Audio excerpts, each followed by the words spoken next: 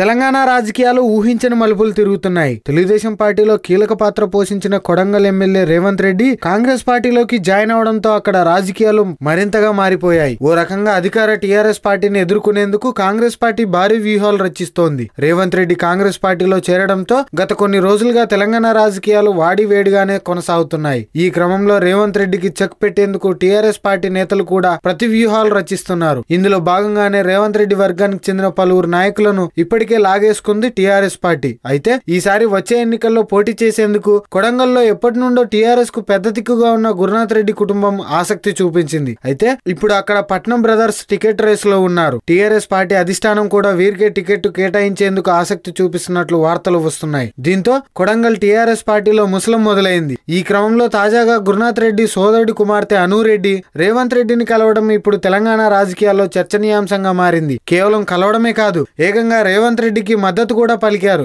గతంలో రేవంత్ రెడ్డికి వ్యతిరేకంగా పర్యటనలు చేసిన ఆమె లోకల్లో ప్రస్తుతం నెలకొన్న రాజకీయ పరిణామాల నేపథ్యంలో రేవంత్ రెడ్డికి మద్దతు ప్రకటించినట్లు తెలుస్తోంది. ఈ క్రమంలో గురునాథ్ రెడ్డి ఫ్యామిలీ ఏం చేస్తుందనేది ఇప్పుడు ఆసక్తికరంగా మారింది. ఈ వీడియో మీకు నచ్చినట్లయితే లైక్ చేయండి షేర్ చేయండి. మరిన్ని అప్డేట్స్ కోసం మా జనహితం టీవీని సబ్స్క్రైబ్ చేయడం మాత్రం మర్చిపోకండి.